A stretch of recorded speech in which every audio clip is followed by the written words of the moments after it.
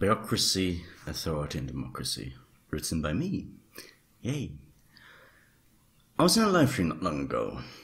The name of the stream was Economic Bloodsport and was hosted by this gentleman named Academic Agent.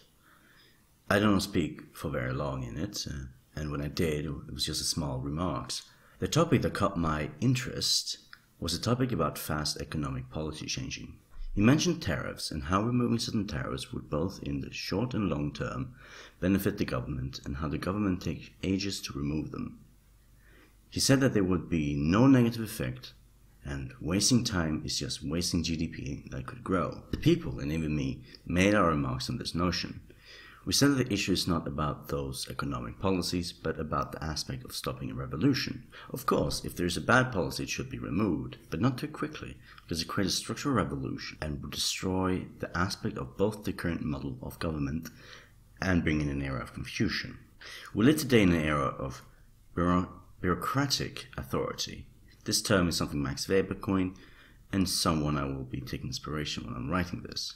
So, what does Max Weber mean with bureaucratic authority.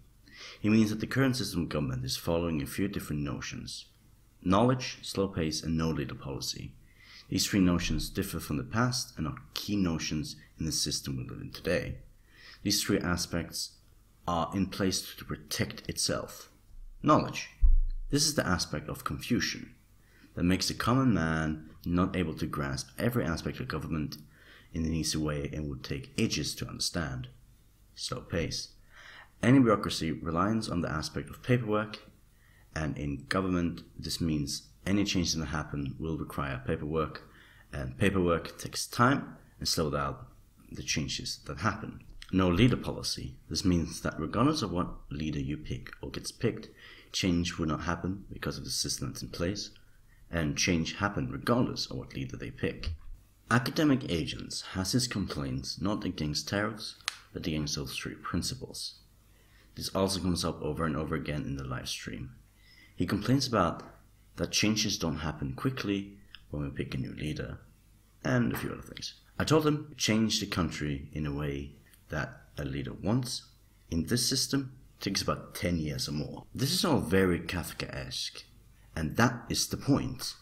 But I want to state, just for fun, we're mostly following an Anglican twists in our bureaucratic authority.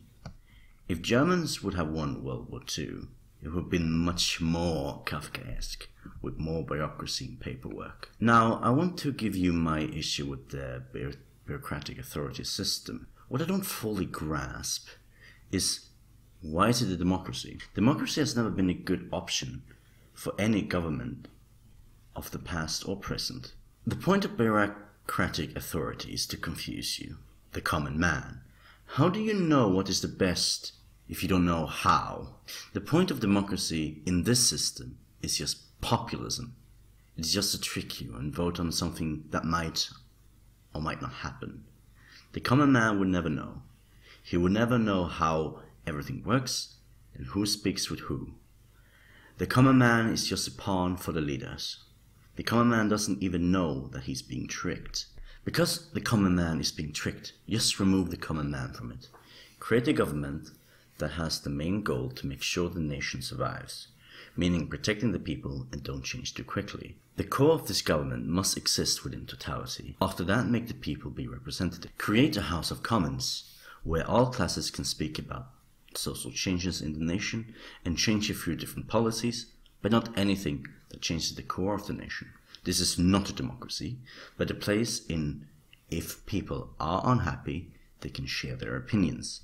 This is the government. Now, when the nation is safe and people can get their voices heard, the rest of the nation is the market. The market is the only place where the common man can do changes by trading. Market fascism is what I want, but I won't go into details. But market fascism exists within bureaucratic authority, but is a place in where the people can get their voices heard and the nation is safe.